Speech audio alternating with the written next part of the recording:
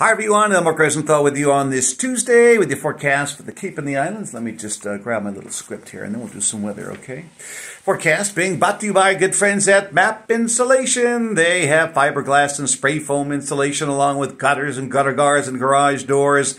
MAP Insulation has a wide selection of closet systems. They also have shower glass doors, bath fixtures and hardware. Check out their zero change gas wood burning fireplaces just before winter. See them online by going to mapinsulation.com. All right, we got a pretty good burst of showers and storms coming through the Cape this morning through early this afternoon. Some could be severe.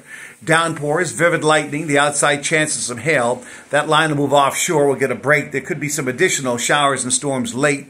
It'll be muggy, temp 68 to 75. Clearing overnight, breezy, cooler, drier in the 50s. Tomorrow, beautiful beach day. Ooh, sunshine, blue sky, northwest winds. It'll be near 80.